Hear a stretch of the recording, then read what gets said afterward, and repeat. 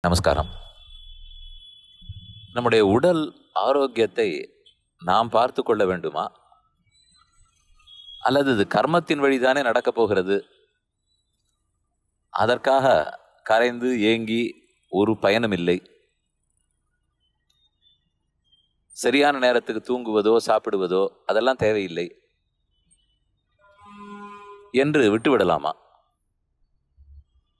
இது வந்து கேள்வியின் முதல் பகுதி.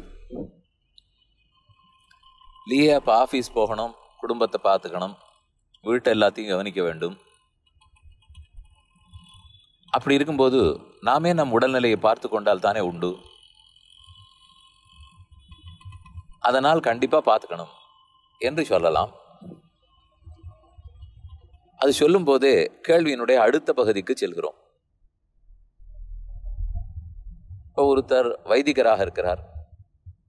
வேத பாராயணம் திவ்ய பிரபந்த பாராயணம் அல்லது கோயிலில் கைங்கரியம் ஸ்ரீபாதம் தாங்குதல் அர்ச்சக கைங்கரியம் பரிசார கைங்கரியம் இன்னும் பெருமான் கைங்கரியத்திலே இருக்கிறார். அவரை கேட்டாலும் அதுவே போதும்